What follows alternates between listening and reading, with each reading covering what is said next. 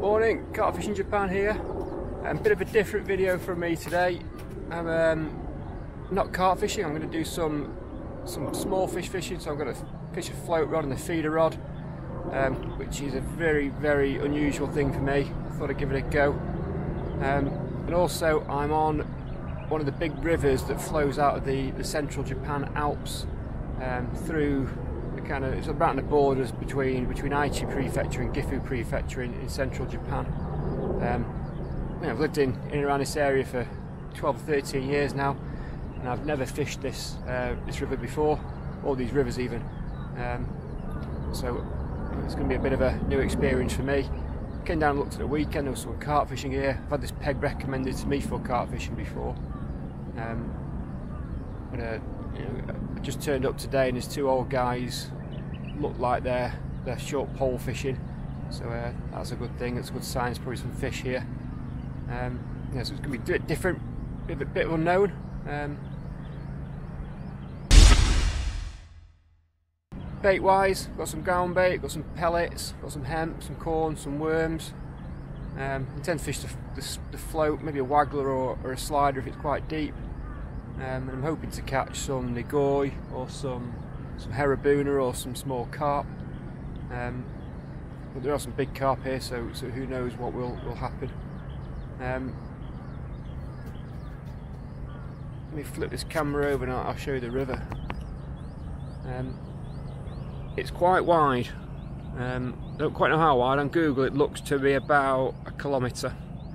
Um, so, you know, it's not a it's not a small river. It's not flowing too much. There's a there's a big old weir down there. Um, so you know, it's kind of backed up here. I'm hoping it's a bit deeper. Um, but I think, you know, I think I should be able to fish a waggler quite easily here. You know, fish a feeder with the with the tip down. It's not going to be. It's not ripping through. So uh, you know, that's that's going to be interesting. There's a small buoy over there. I think the, the plan is I'm going to knock some ground bait up, let that settle. I'm going to get me carp marker rod out, just um, just find out you know how deep it is, where a good line is, what the bottom's like. I'm going to ball it in, and then uh, then get set up. That's the plan. Um, it's about 10 a.m. in the morning. Just put some sun cream on because it's absolutely roasting. It's going to be 34, 35 degrees today. Um, I think I might have to put the sun umbrella up, otherwise I'm going to get really sunburnt, with even with factor 50 on. Um, hopefully I've got through till about four or five o'clock tonight. So uh, yeah, let's do it.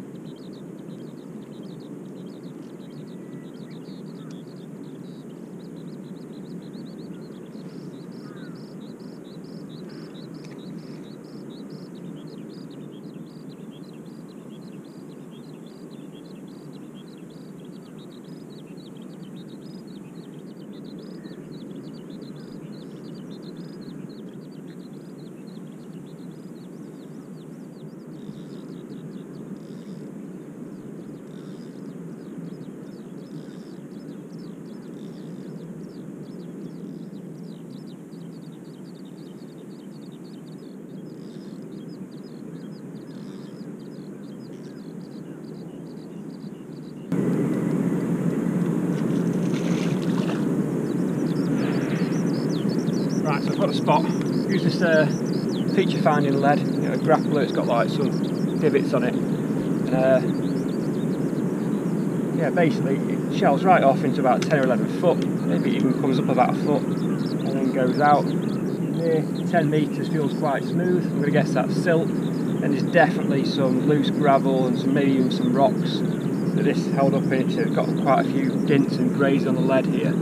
So what I'm going to do is, I haven't really brought any gear to fish really close. I mean, ideally we're fishing about 8 metres pole here. Um, we're going to guess I might get ripped off a couple of times with carp. So um, I'm going to pick a nice line, 25 metres I guess that is. Um, just you know, easy chuck on the feeder, easy chuck on the waggler, um, about 11 foot. Um, and put the bait in there. I'm going to put the marker out now, I'm going to put the balls on it and downstream a little bit more flow out there. And then know, I'll set the other gear up and put some put some flying clips up, put some marker rigs on so I know how far out the bait is and take the marker rod in. That's the plan, so I'm going to get on with it.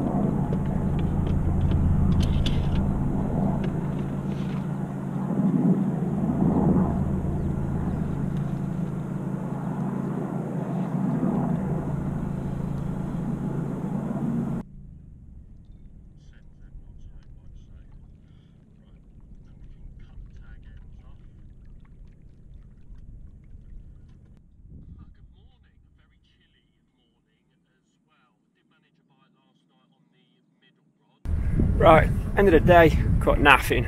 Just had one little tiny fish, like a little uh, gudgeony stone loachy kind of thing that took the bait.